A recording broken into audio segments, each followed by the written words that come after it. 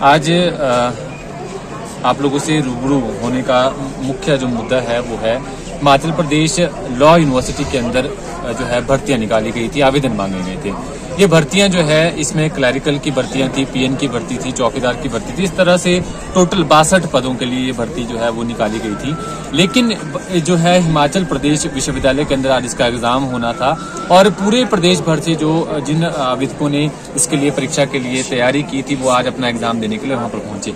लेकिन जिस तरह से जैसे वो हिमाचल प्रदेश विश्वविद्यालय के अंदर पहुँचते हैं तो वहाँ पर जो है, उन्हें ये बताया जाता है कि आपकी परीक्षा जो है, वो रद्द कर दी गई है। तो कहीं ना कहीं प्रदेश के अंदर आप देख सकते हैं किस तरह से प्रशासन का रोल है और जिस तरह से परीक्षार्थी अपनी तैयारी करके इतनी दूर से अपना किराया खर्च के बिलासपुर, ऊना, मंडी, कांगड़ा इतनी दूर दूर से जो है, राजधानी शिमला आज पहुँचता है तो उन्हें किस प्रकार से जो है दिक्कतों का सामना फ़िलहाल जो है करना पड़ा है। तो पिछले कल हिमाचल प्रदेश लॉ यूनिवर्सिटी की ओर से जो है जो परीक्षा की जानी थी, वहाँ पर जो परीक्षार्थी थे, उन्हें सात बजे जो है एक मेल के द्वारा सूचित किया जाता है कि आपकी परीक्षा रद्द कर दी गई है। आपके माध्यम से बताना चाहता हूँ कि इससे पहले भी इस परीक्षा को लेकर जो है तिथि निर्धारित की गई थी। वो तिथि जो थी, तेरह फरवरी को पहले ये एग्ज़ाम होना था। उसके बाद उस समय भी इस परीक्षा को रद्द कर दिया गया। उसके बाद आज तेईस फरवरी को ये परीक्षा होनी थी। लेकिन आज फिर से एक बार इसको जो है बिना इन्फॉर्म किए जो है कई बार जो है हम देखते हैं कि मेल अगर भेजी गई है तो वो स्पैम में चली जाती है या बहुत सारी दिक्कतों के चलते लोग मेल नहीं चेक कर पाते हैं।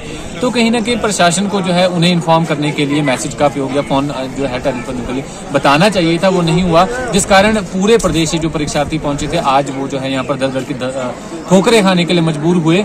तो कहीं ना कहीं ये जो है एक नकारात्मक रवैया प्रशासन का है, जो भी परीक्षार्थियों की परीक्षा जिन अथॉरिटी ने लेनी थी, उनकी ओर से समय पर सूचित किया जाता तो इस तरीके की जो दिक्कतें हैं जो परीक्षार्थियों का, ये वो नहीं आनी थी। तो भारत की जनवादी नौजवान सभा ये मांग करती है कि जो भी जो है ये परीक्षा जो होनी है, इन परीक्षाओं को जल्द से जल्द जो है सरकार करवाए, जो प्रशासन वहाँ का है उसको करवाए और एक तय सीमा वहाँ पर निर्धारित करे। ये ना हो कि जैसे पहले जो है परीक्षा तेईस, तेरह फरवरी को होनी थी, उसके बाद तेईस फरवरी तिथि निकाली गई, लेकिन दोनों बार परीक्षा रद्द कर दी गई।